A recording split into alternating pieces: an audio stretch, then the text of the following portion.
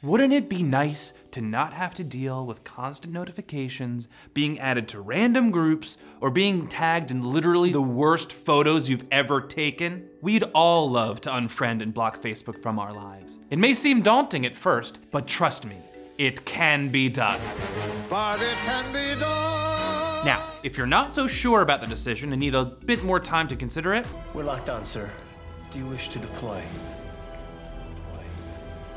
You can always deactivate your account. It won't remove your data, and you can always just go back and reactivate it. Click on the down arrow in the upper right corner of Facebook and click on Settings, Your Facebook Information, Deactivation and Deletion. Then click on Deactivation. Enter your Facebook password and confirm deactivation. And then, you're gone. At least for a couple of weeks until you realize you needed to remember your friends' birthdays and Facebook stalked that barista from around the corner. Not that I'm speaking from experience. This is just a temporary fix for someone who, at the very least, just needs a break from all the noise. The ultimate power move is to just delete your account. Erased from existence. But before you completely delete your account, you should probably back up your data.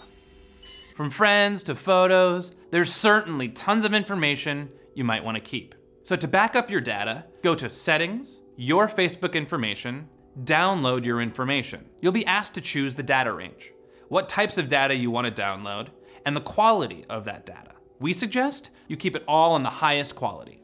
You never know when that pic of you at Burning Man will come in handy. Next step, deleting all of your Facebook data. If you want to pull off your best Ron Swanson impression, you're going to have to wipe all traces of your existence.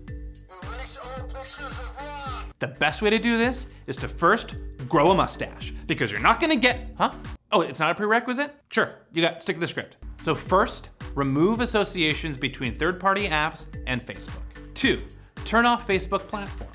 Three, check how much of your data is held by third-party apps. And four, clear your Facebook history. Now it's also important to consider that removing your Facebook data also involves going into third-party apps that may be currently tied to your Facebook and creating non-Facebook logins. Some of those apps include Farmville, Pandora, Instagram, and Tinder. But you know what? Once you get through with all of that, it's time to delete your Facebook account.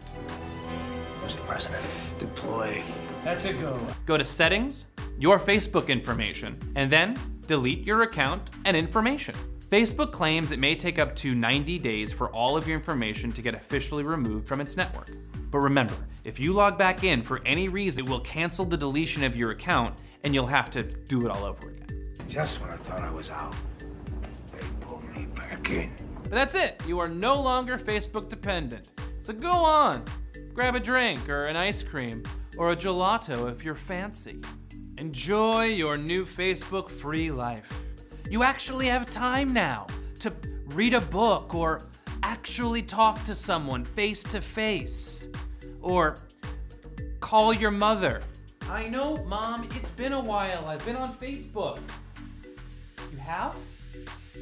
Why didn't you friend me?